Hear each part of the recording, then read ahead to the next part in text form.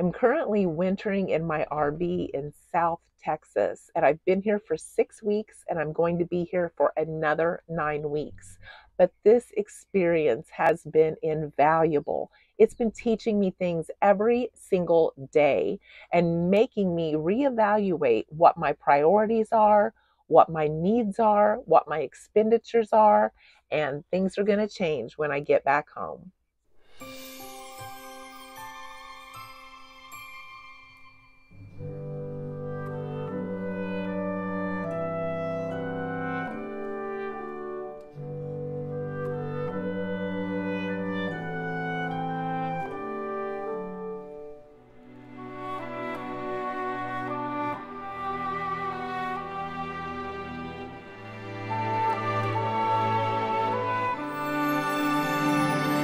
Hi everyone, I'm Bonita from Pennies to Dollars and welcome to my channel where we talk about frugal living, saving money, cutting expenses, and living your best life on less. If you don't know me, I am from rural Kansas. I was raised by Depression era parents. And like I said, I'm currently wintering in South Texas and I'm going to be here for another nine weeks living in my RV. I came down here for a warmer climate. I saved and planned so that I could retire and winter in a warmer climate and then go back home in Kansas, which I will be doing at the end of April. So, this experience has changed me. This experience has made me realize by moving into my RV that I have too much, that I own too much, that I store too much at my home in Kansas. I just recently did a poll with you all to see what kind of things you are storing and what kinds of things you feel like you have too much of. And I can identify in all of the areas that I named for you to choose from. So let's talk about how much I really need to be content. And I'm hoping by going through some of this, it will help you determine what are some of the things maybe you don't need to be storing anymore either. So I brought limited items, of course, since I'm in an RV, but I brought a bunch of food, leaving a ton at home for my husband.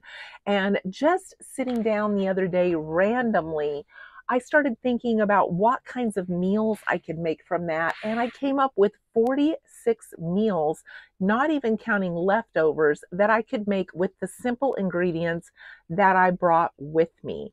That is huge. And that was a huge eye opener, just sitting down to write down, like, how many meals could I make with what I already have? And doing that made me realize that I have been storing too much at home for just the two of us. I brought one measuring cup because that's all I really need. I can do anything with one measuring cup. I don't know why I have all these different sizes. They're not necessary. I did bring measuring spoons, even though I don't always use them at home. I brought limited kitchen utensils and minimal storage containers for my leftovers. I have a small fridge, I have a small freezer, and they are both full. And that keeps me in check on not wanting to buy more stuff because I can't fit anything else in there. I brought limited cleaning supplies. I have dish soap. I have an empty spray bottle that I put vinegar and water in. And I have laundry soap. I also brought scratcher pads to wash the dishes and cleaning rags. I also shared with you in one of my recent videos that I brought a capsule wardrobe with me and I talked about that in detail and I will link that at the end of this video. But I wanted to tell you that I'm only doing laundry about every week and a half. And with what I brought, it is plenty. I brought limited kitchen appliances. Now, when I name off what I brought, it's going to sound like a lot for an RV, but think about how much more we even have in our house. I have a stove and an oven in the RV. I also brought my turkey roaster in case it's hot and I need to cook so I can do it outside so I don't heat up my camper. I brought a small electric skillet that's good for two people. I brought a two and a half quart crock pot, which is small and perfect for one or two people. I brought a coffee pot and a Keurig because we had extra and I keep them in the camper, whether there's one person or more here. I also brought an electric can opener because I have arthritis in my hands. It's hard for me to use the hand crank one. So that one got left for my husband. I brought a toaster and I have a built-in microwave and then I have this sandwich maker that I love. I even brought my sandwich maker. I bought all of the kids one of these when they went to college and they absolutely loved them. They are quick and easy. You can put just about anything between two pieces of toast and make it fast. But I haven't even used this yet.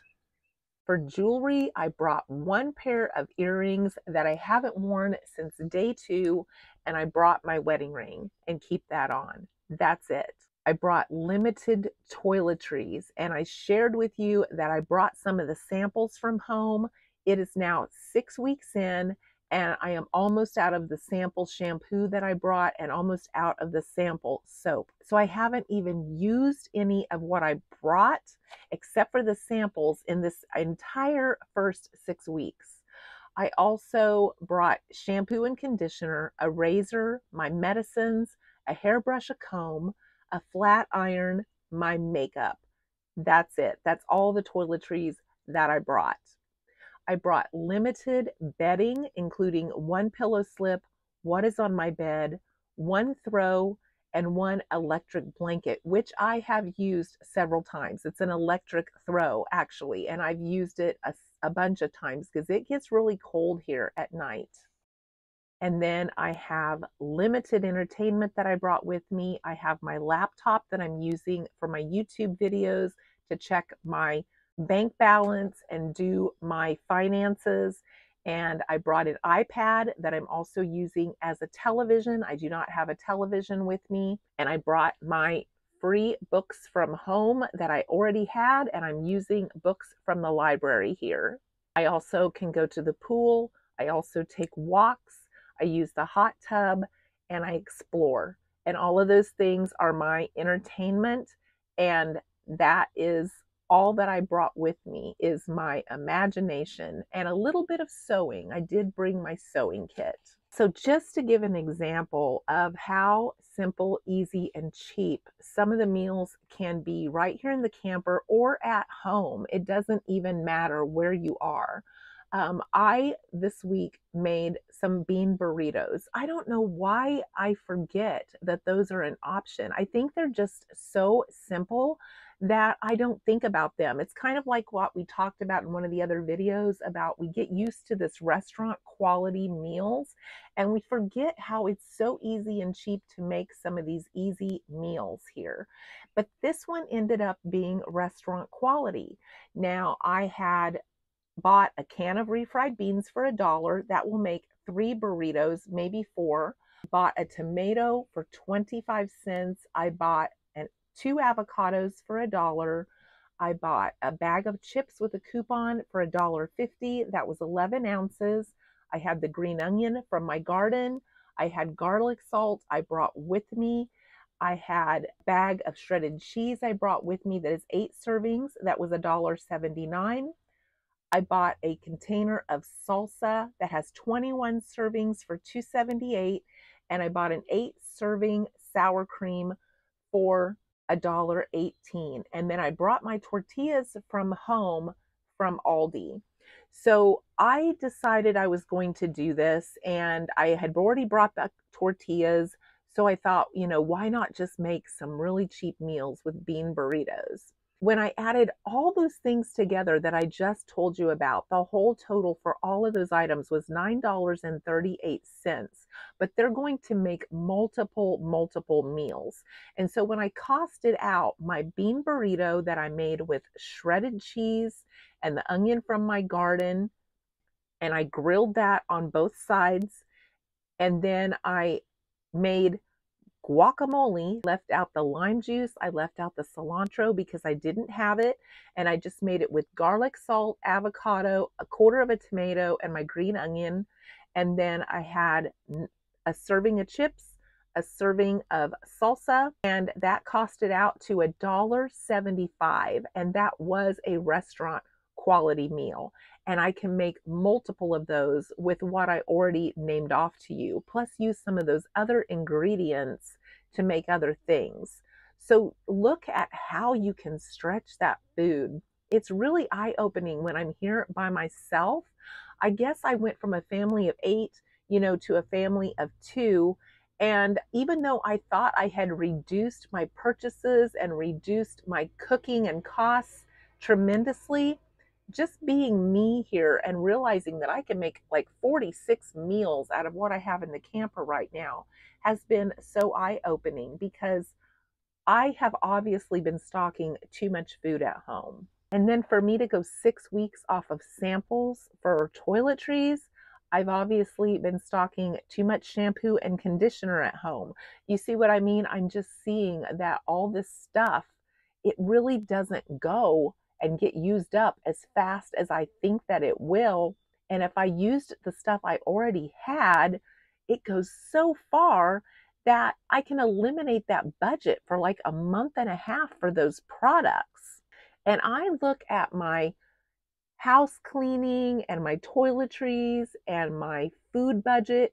I look at that like if I have PTO. Okay. So when you work and you have PTO, if you have all your vacation and your sick leave and it's all rolled into PTO, well, if you don't use your sick leave, you have more vacation, right? So that's how I'm looking at this. If I don't use the things that I have already, then I am just using up that PTO. So if I use the things that I have, that I have more at the end, like having more vacation. I hope that made sense. So, what I'm learning is the less things I have, the more grateful I am for what I have, and the more creative I get with the things that I have. I wanted to have something sweet the other day and I didn't bring any sugar with me. I only brought Truvia because I had that on hand and it needed used up. So I've been using Truvia in the place of anything that required sugar since I got here. I pulled out a cup of peanut butter, one egg, and I used a quarter a cup of Truvia plus two tablespoons, and I made peanut butter cookies. Now, if I would have had sugar, I could have used three quarter of a cup of sugar instead of the Truvia. But I smashed those out. I made them into peanut butter cookies that were sugar free because that's what I had.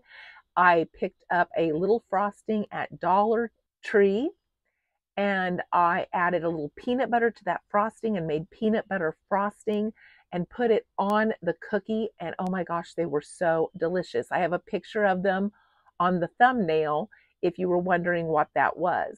And look how easy and cheap that was with hardly any ingredients. So when I get home, I find that I am learning what I can really do without and how I can simplify my home. I have so many ideas just running around in my head. You know, I used two hot pads this whole time. Why do I have tons of hot pads? So I'm learning what I need and maybe what I never did. Isn't that amazing? And so I am really excited to share this news with you today. Let me know if you've had any realizations like this, where you realized you just absolutely didn't need this normal everyday stash of stuff that you've been storing this whole time. I hope to see you in the next video and thank you for joining me on this one.